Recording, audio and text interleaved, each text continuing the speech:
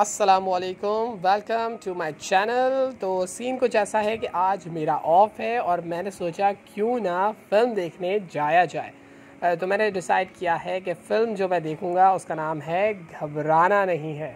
ये आजकल पाकिस्तानी फ़िल्म है और बहुत हिट चल रही है। बहुत ज़्यादा लोग इसको पसंद भी कर रहे हैं, देख भी रहे हैं। तो मैंने सोचा घबराना नहीं है फ़िल्म की टिकट्स ले ली जाए। तो दो टिकट्स ली है मैंने और यहाँ पर जो न्यू प्लेक्स जिसमें मैं आया हूँ अस्करी फोर में, यहाँ पर टिकट है आठ सौ रुपये का एक। और मैंने सोचा कि अभी फ़िल्म में कुछ टाइम है तो क्यों ना कुछ खा लिया जाए। तो फ़िल्म होगी मेरी स्टार्ट रात दस बजे, और अभी बज रहे हैं तकरीबन साढ़े आठ, नौ के करीब। तो मैंने पिज़्ज़ा फ्राइज़ ऑर्डर किया है, और पिज़्ज़ा प्राइस यहाँ पर ऑलमोस्ट फ़ोर हंड्रेड रुपीज़ के हैं, और इसके साथ ही अगर जिंगर और फ्राइज़ आप यूज़ करेंगे तो वो भी फ़ोर हंड्रेड रुपीज़ का है। जबकि अगर रेगुलर ड्रिंक लेंगे तो वो वन फिफ्टी या टू हंड्रेड समथिंग की आपको मिल जाएगी। उसके बाद आप फ़र्स्ट फ्लोर पर चले जाएँगे। यहाँ पर वेटिंग एरिया बना हुआ है और यहाँ पर जो आप खाना नीचे खा कर आए होंगे, वो आप ऊपर नहीं ला सकते। तो ये है ऊपर का फ़र्स्ट फ्लोर, जहाँ पर एट और नाइन ये जो नज़र आ रही है, ये एक स्क्रीन्स है। यहाँ पे ओवरऑल ग्यारह स्क्रीन है बड़ी बड़ी जिसको आप अच्छे तरीके से फ़िल्म इंजॉय कर सकते हैं। तो ये कुछ फ़र्स्ट फ्लोर का व्यू है। यहाँ पर भी छोटा सा कैफेटेरिया बना हुआ है।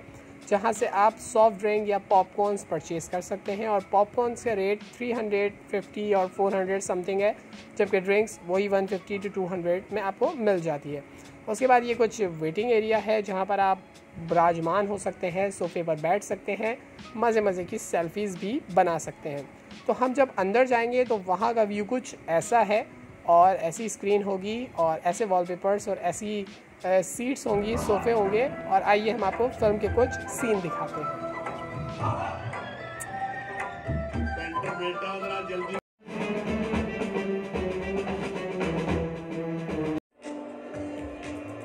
और फिर हकीकत तय करती रास्ते भी और कराची।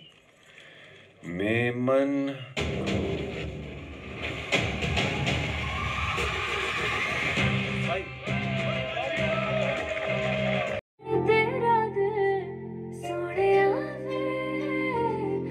जुर्म को रोकने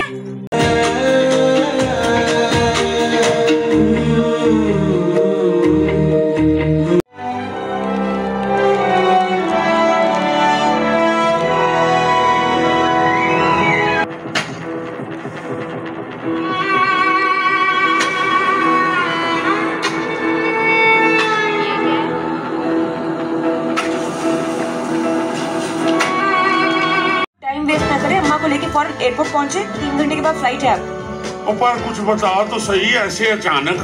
मेरा तुम्हारे दस लाख। और इसमें पाँच लाख मेरी तरफ़ से बोनस भी। Thank you sir thank you लेकिन जो कुछ हुआ उसे तुम भूल चुके हो। किस बात